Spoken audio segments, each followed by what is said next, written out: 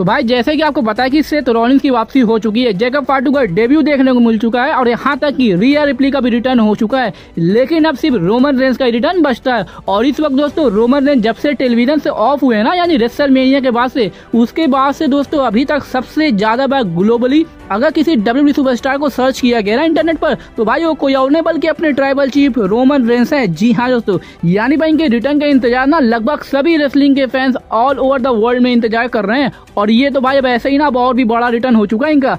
और इसलिए दोस्तों, काफ़ी ज़्यादा चांसेस है कि पॉसिबली समर स्लैम में हमको इनका रिटर्न देखने को मिल सकता है। लेकिन भाई रोमन रेंस तो समर स्लैम में हो गए, लेकिन जिमी उसो का कब होगा, ये बड़ी बात है, क्योंकि रोमन रेंस के रिटर्न से पहले डब्ल्यू ना इनका ही रिटर्न करवाना चाहेगी। और जबकि दोस्तों मनी इन द बैंक में इनको लेकर स्पेकुलेशन काफ़ी ज़्यादा हाई भी थी कि अब नहीं तो अब तो मनी इन द बैंक में इनका रिटर्न हो ही जाएगा, क्योंकि भाई समर स्लैम नज़दीक था। लेकिन अपने गेम ट्रिपल एच को भाई गेम खेलने की आदत है, जिस वजह से वहाँ पर भी हमको जिमी यूसो का रिटर्न देखने को नहीं मिला। लेकिन दोस्तों, अब ऐसा लग रहा है ना कि इस वीक स्मैकडाउन पर हमको पॉसिबली जिमी यूसो का रिटर्न देखने को मिल सकता है। जी हाँ दोस्तों, ये मेरी स्पेकुलेशन है। और मुझे पता नहीं भाई, ऐसा क्यों लग रहा है ना कि डब्ल्यू ना सिर्फ़ रूमर्स के वजह से ही मनी इन द बैंक में रिटर्न नहीं करवाई थी। लेकिन अब जबकि स्मैकडाउन पर किसी का ध्यान होने वाला नहीं है, और क्या पता भाई वहीं पर डब्ल्यू का रिटर्न करवा दे।